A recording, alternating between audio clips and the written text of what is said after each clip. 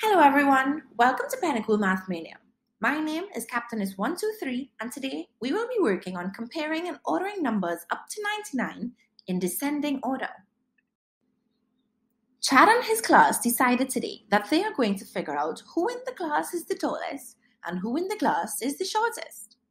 To do this, they were all measured and their names were placed on the board.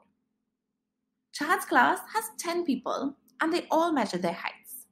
The heights of the kids were 85 centimeters, 67 centimeters, 70 centimeters, 75 centimeters, 90 centimeters, 87 centimeters, 99 centimeters, 82 centimeters, 69 centimeters, and lastly, 80 centimeters.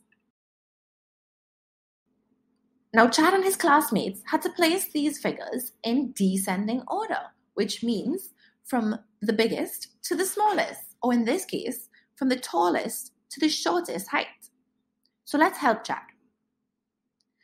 He's going to start off with the biggest number. In this case, it's 99 centimeters. And then let's keep descending or going down from there. The next will be 90 centimeters, and then 87 centimeters, and then 85 centimeters. Then next up, we'll have 82 centimeters, 80 centimeters, 75 centimeters, 70 centimeters, 69 centimeters, and lastly 67 centimeters. Now that we have our heights listed in descending order, we can see which height is the largest and which is the smallest.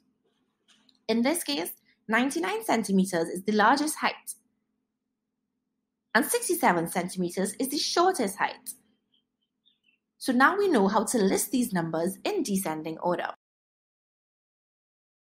Thank you for visiting Math City today. Try the exercises on pennacool.com to earn points and win great prizes.